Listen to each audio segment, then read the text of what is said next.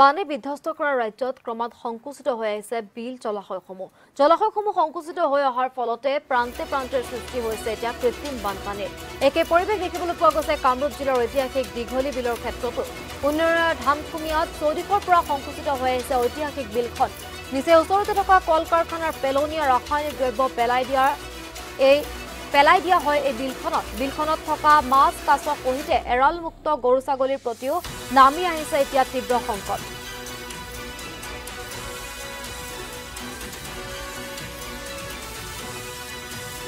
কৰা ৰাজ্যত ক্ৰমাৎ সংকুচিত হৈ আহিছে বিল জলাশয়সমূহ। জলাশয়সমূহ সংকুচিত হৈ অহাৰ ফলতে প্ৰান্তে প্ৰান্তে সৃষ্টি হৈছে কৃত্ৰিম বানপানীৰ। একে পৰিৱেশ দেখিবলৈ পোৱা গৈছে কামৰূপ জিলাৰ ঐতিহাসিক দীঘলী বিলৰ ক্ষেত্ৰতো। উন্নয়নৰ ধামখুমীয়ত চৌদিশৰ পৰা সংকুচিত হৈ আহিছে ঐতিহাসিক বিলখন আৰু নিচেই ওচৰতে থকা কল কাৰখানাৰ পেলনীয়া ৰাসায়নিক দ্ৰব্য পেলাই দিয়া হয় এই বিলখনত।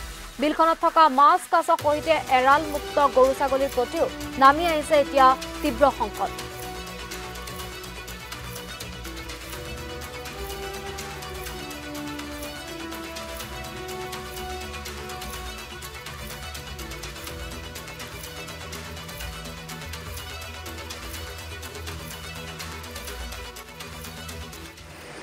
কেমিকেলটো মানে ইয়াত বিলত পেলাই দিয়ে। বিলত পেলালে মাছ পুঠিৰো বেমাৰ লাগে আৰু দুই নম্বৰত এই যিটো পানী আপোনাৰ সেই পানীত আমাৰ মানুহখিনি গা ধুলে। ধৰক গা পা খোজাই বা গৰু বা ছাগলী এইবিলাকে পানী খালে আহ, অসুবিধা হয়। তেওঁলোকৰ বেমাৰ আজাৰ। তেওঁলোকৰো বেমাৰ আজাৰ হ'ব পাৰে। গতিকে এইটোৰ কাৰণত কোম্পানীৰ যিটো মানে মালিক নন্দু নন্দু বাবু বুলি কয় নন্দু মই সেই কোম্পানীত কামো কৰিছোঁ। ইতিমধ্যে আগতে হা। কাম কৰি আপোনাৰ ধৰক বেছিদিন কাম কৰা নাই অলপ দুই তিনিদিন আমাৰ অসুবিধাটো কি মেইন অসুবিধাটো? অসুবিধাটো মানে সেই কেমিকেল যিটো পেলায় সেইটো পেলোৱাৰ বিনিময়ত মাছটোৰ বেমাৰ লাগে বিলৰ মাছটো বেমাৰ লাগে।